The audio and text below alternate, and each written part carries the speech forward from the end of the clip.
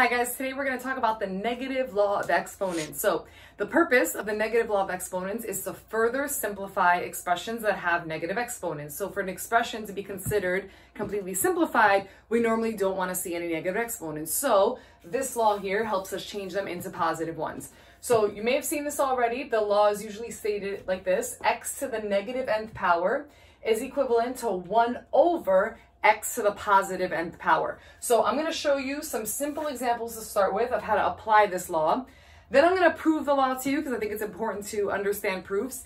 And then we're going to go into some more complex examples. All right. So um, the law is telling me that if I have a negative exponent, like I do in this example here, all I have to do to make it positive is really write the reciprocal of it with the positive exponent. So 1 over now notice that the base doesn't change, right? X stayed the same, so my 5 is going to stay the same, but that negative 3 is going to become a positive 3. So 5 to the negative third is the same as 1 over 5 to the third. Or if you want to simplify even further, right, we can evaluate the denominator and we can say this is 1 over 125, right? Because 5 times 5 times 5 is 125. So either of these would be correct.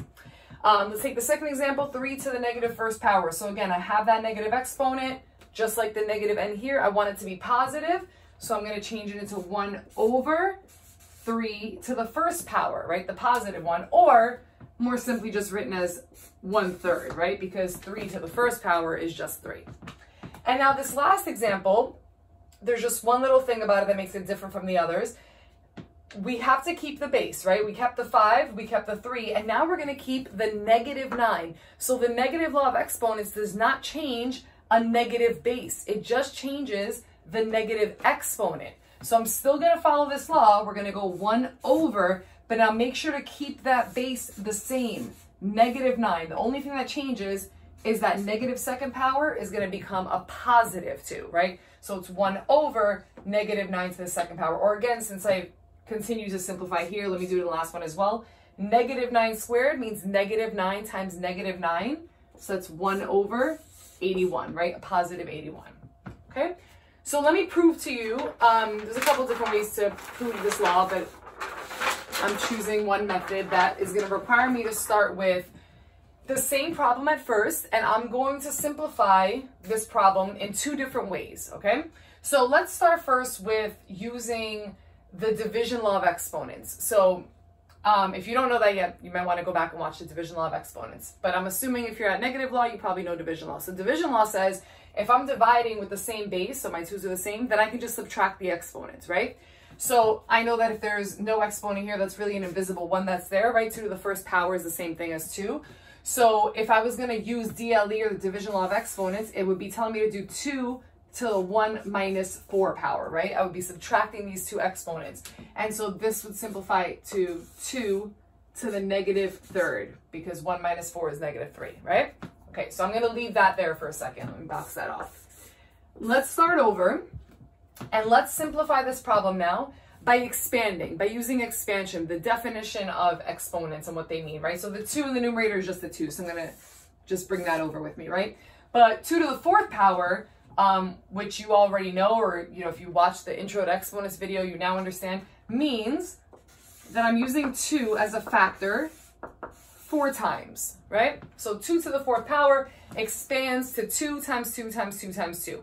Now, if I simplify by just dividing, two divided by two is one, right? So in the numerator, I've got a one. In the denominator, I have two times two times two. Well, I can rewrite that as an exponential expression because I know that 2 times 2 times 2 is the same thing as 2 to the third power, right? Okay, so let me stop there, and here's what I want you to realize.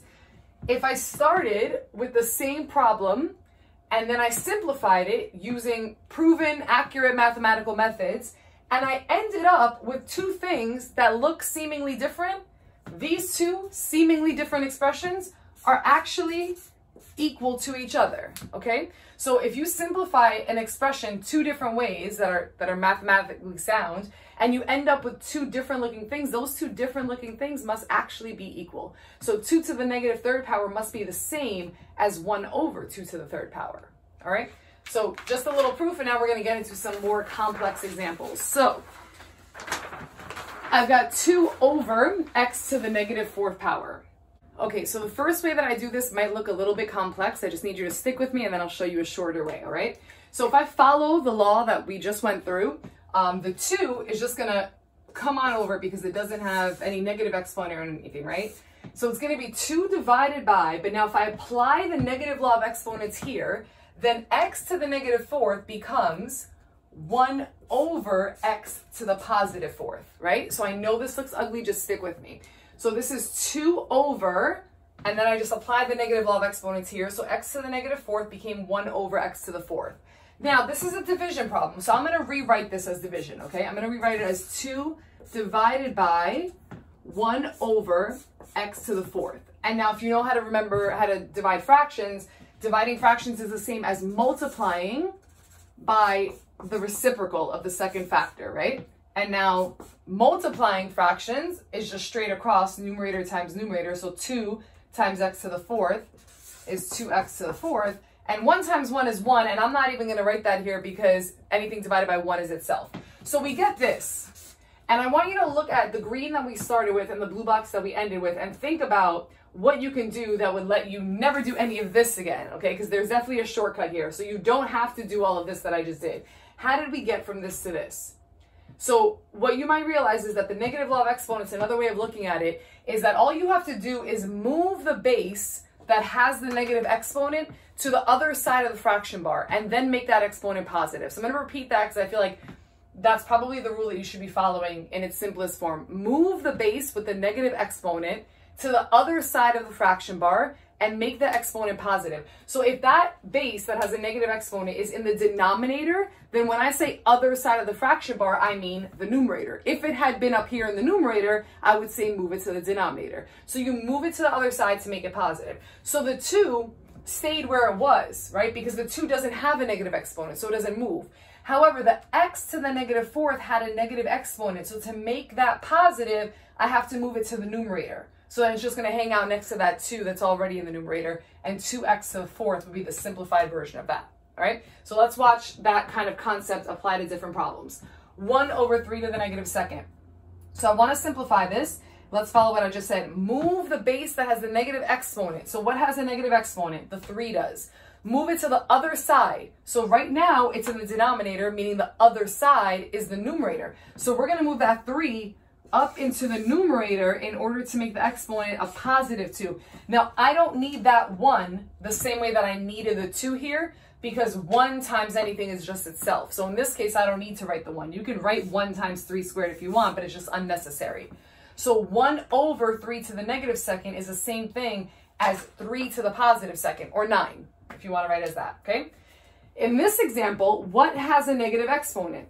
Only the a, right? The a has the negative exponent, so let's move the a. It's in the denominator, it's going to move to the numerator. Again, there's a 1 up there. I don't need to write it anymore because a to the fourth times 1 is just a to the fourth.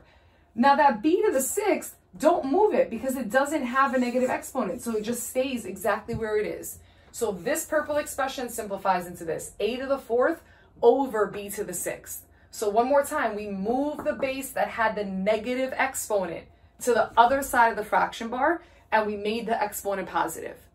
Anything else stayed where it was because it doesn't have a negative exponent, so we don't apply the negative law of exponents.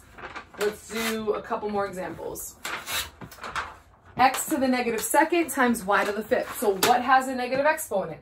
The x does. So the x needs to move. Well, where is the x now? I know it looks like there's no fraction, but remember when there is no fraction, I really could write it as something over 1, right? So it's in the numerator. These are both in the numerator right now. So if I want to make a positive, I need to move it to the denominator. Now that y to the fifth does not have a negative exponent, so don't touch it. Leave it where it is. That y to the fifth is going to stay in the numerator over that x to the negative second, in order to make the exponent positive, it needs to move to the denominator. So this will simplify to y to the fifth over x to the second. Okay? Last example. 7a to the negative third. What has a negative exponent?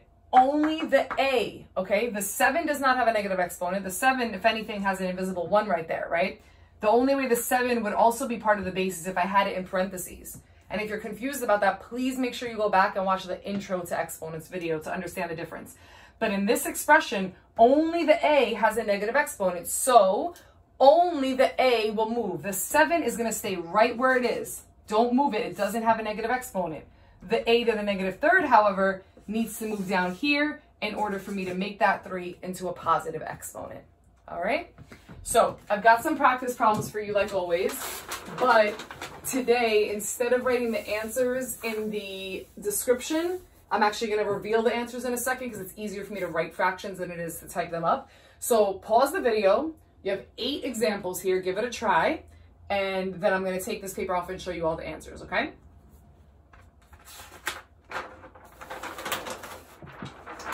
So here's all your answers to the eight questions. If you're, you don't have one of these and you're having a hard time figuring out why, as always, just put a, a comment down and I will try to help you out, all right? Good luck with the negative law of exponents.